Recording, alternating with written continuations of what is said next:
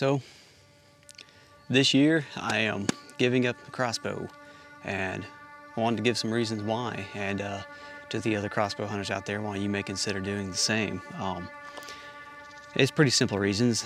There's two practical reasons and there's two personal reasons that I'm giving it up. And I was just gonna go down the list of those reasons. Yeah, I've been crossbow hunting for a long time now. It's been about 12 years. And that's how I got introduced to bow hunting was with the crossbow.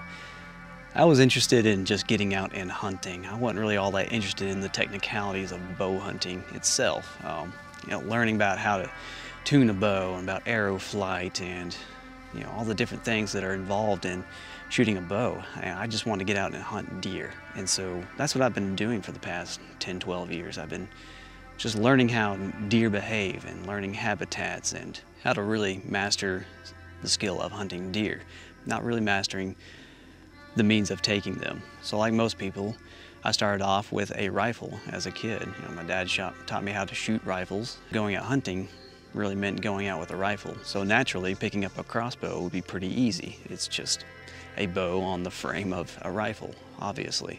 So my first reason for making the switch has really been to expand my capabilities as a hunter. I'd like to one day be able to go bow hunting with a recurve bow. And I feel like the logical step in making that goal happen is learning to shoot a compound bow and being effective and efficient with it. The second reason is just to expand my skill set as a hunter. You know, I want to be a more well-rounded hunter and having a variety of different means of taking game is part of that. It's part of the skills of a woodsman, woodscraft, and being a hunter.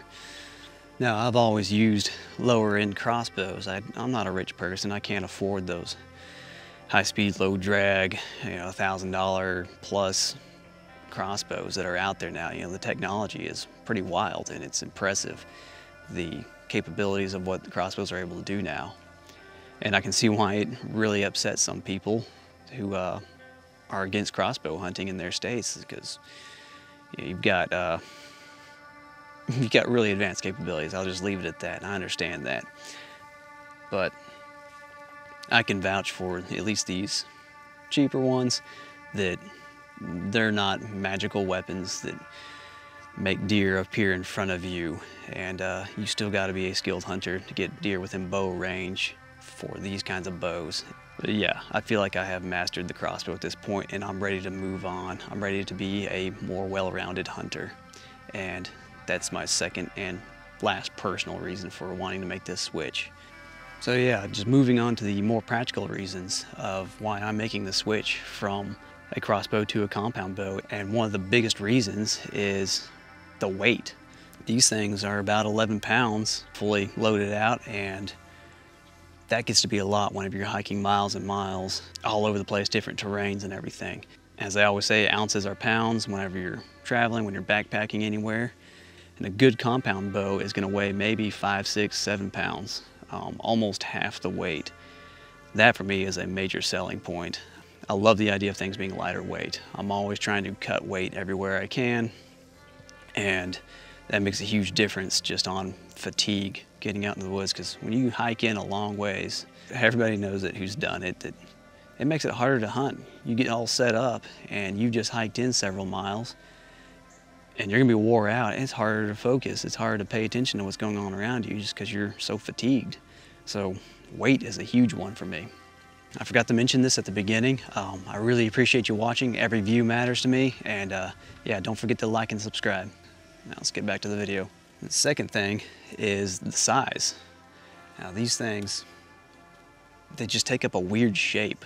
Most affordable, in my opinion, crossbows that are out there are pretty unwieldy in shape. Um, it's hard to get through the woods carrying one of those things. They hang up on brush. They always stick out in a weird direction, carrying them around. I keep a sling on mine, and when I've got it slung over my shoulder, it sticks out on the sides from the limbs, and they make a lot of noise. So far, what I've experienced with a compound bow is the upright nature of it when I'm carrying it or even have it rested over my shoulder. It doesn't get stuck on things and it doesn't break through twigs and brush and just make my overall profile lopsided and strange. Um, they're a lot more streamlined, so to speak. They are easier to cut through brush with. So yeah, I mean, given all these different factors, you know, I just want to be a better hunter. I want to be capable of eventually switching to shooting a recurve bow. The size and shape and weight of these crossbows are kind of inhibitors. You know, just all these given factors, I'm, I'm ready to make the switch this year. And anybody else who has considered it, I, I highly recommend it. It's, it's been a lot of fun learning the compound bow. And while I'm very new to it still, um, I found myself getting out and shooting 50 arrows almost every day and it's just fun. I look forward to doing it in the evenings.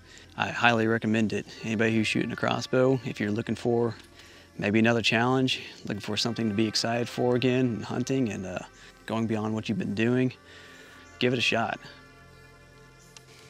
Oh yeah, there was one last thing about crossbows that I forgot to add to my list, but I wanted to mention, and that is reloading. Um, I feel like I haven't done it in practice yet, but I feel like reloading a compound bow is a lot more realistic than reloading a crossbow in the field. So you take a shot and you miss, well, from my experience, there's no way you're gonna reload the crossbow without being seen. That whole motion of having it down on the ground, the bow, the end of the bow, and then pulling up to redraw it, it clicking into place, and then putting your bolt on the rail is just, there's too much going on to realistically do that. But a compound bow, I feel like pulling another arrow out of your quiver and nocking it and drawing once again is a little bit more realistic. There's you can get away with smaller profile movements with that than you can with a crossbow. So I'll be curious to see if that works. You know, hopefully I don't ever have to. Hopefully I don't ever miss and need to reload. But yeah, um, that could be one other thing that is to be considered. Yeah, I want to throw that in there.